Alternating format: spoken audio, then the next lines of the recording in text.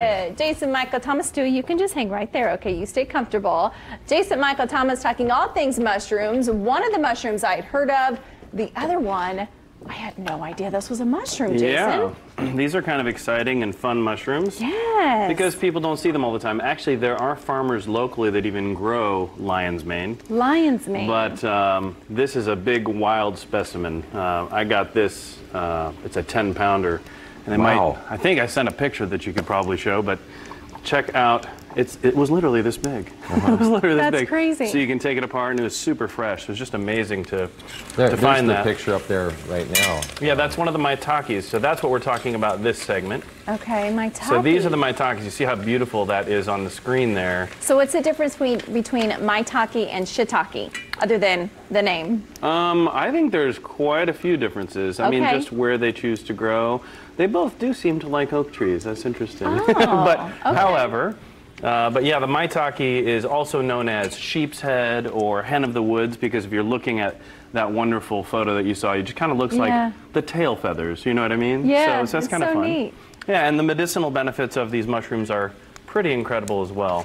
Um, so, you know, these are known for helping your immune system.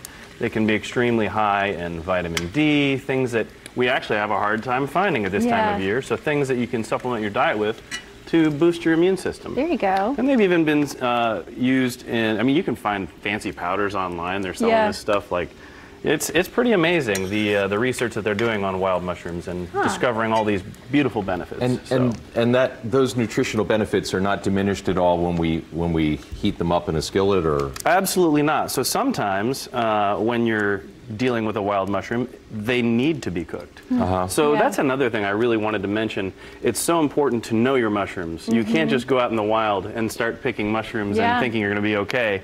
There are old mushroom hunters. There are bold mushroom hunters.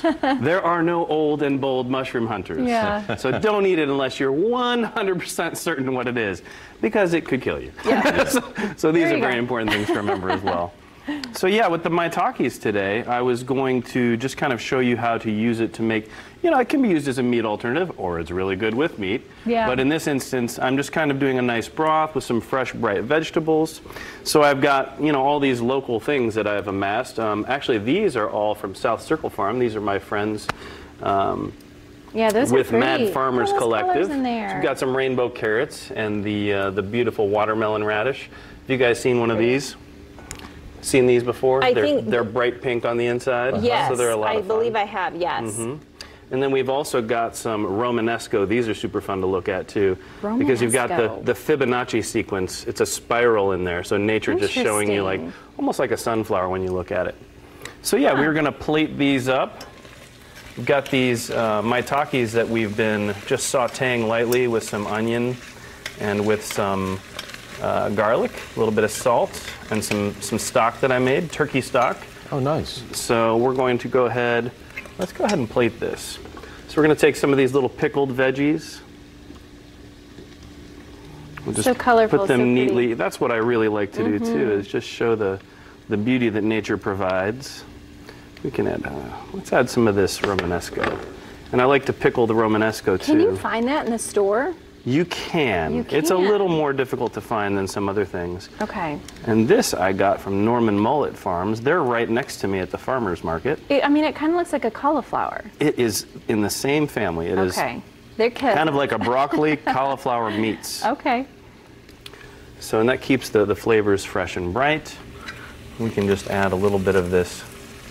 I know this is going to be yummy, but I like the presentation every bit as much as the... I know much everything is so pretty. Thank you. Just kind of work that in there.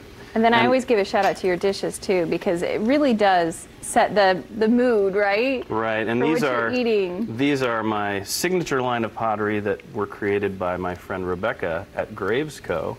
So all these beautiful dishes that I use for plating and This is all local. Yeah. That's what I like to. Fresh hundred percent, local. hundred percent local. So then we've got some of this, and I like to add this to the sauce here. Just a little bit of stock and broth. Jason, online too. Are you online? Can we find a lot of your different products um, on the website? Absolutely. Okay. Absolutely. So it's a lot of fun to uh, visit the website and see that I do a lot of Kinda go these dishes. shopping. A lot of these dishes at my private dinners as well. so. Yeah, and even better, we've got a QR code on the upper right-hand corner of your screen, so people can just take their camera phone, Awesome. scan it, That and then it so takes them directly to your website That information. is so Isn't cool. Yeah. Awesome. So we're so techie here. Yeah, absolutely. I was thinking about making a, uh, a bruschetta little dish with this too, so we can just kind of plate some of this. I've got some toasted bread.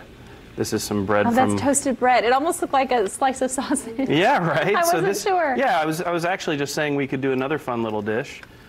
So we can. I'll put it on in this little Okay. bowl right here.